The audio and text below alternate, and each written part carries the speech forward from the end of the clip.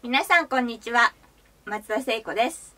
今日は皆さんからたくさん Amazon ギフトをいただいたので開封していきたいと思います。こちらの2つを開封していきたいと思います。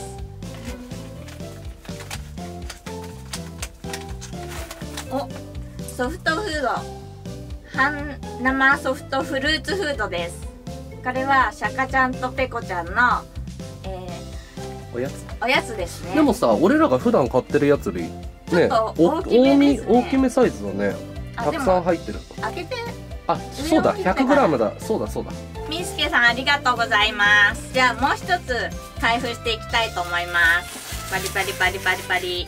あこちらも同じものでした、えー、半生ソフトフルーツフードです。匿名さんからです。ありがとうございます。さらに、えー、段ボールが2つ届いてますじゃあこちらを開封していきたいと思います。段ボール2つあります。じゃあこうこういう感じで。これ何か届きました。じゃあこれも開けていこうかな。ニンニさんありがとうございます。まずは上、えーパジャマですね。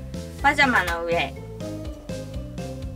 こういう感じです。そして下が、えー緑と赤のパンツです。ニンニありがとうございます。じゃあ次行きたいと思います。お次軽いですねなんか。あれ？これなんか見たことあるな。あたくみさんありがとうございます。えー、たくみさんからのメッセージです。えーのんちゃんへ、えーお風呂に入ってください。のんちゃんちなみにお風呂何日に1回入るの？あ4日に1回ぐらい。たくみさんからお風呂に入りましょう。ちゃんとお風呂に入ります。たくみさんありがとうございます。こんな感じで切れて洗濯も2個あるんで洗濯もできるようになりました。早速試着してみました。こんな感じになります。はいこんな感じです、まあ、似合うかどうかは下のコメント欄に書いてください。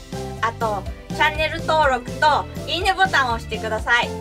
じゃあありがとうございました。皆さん。バイ。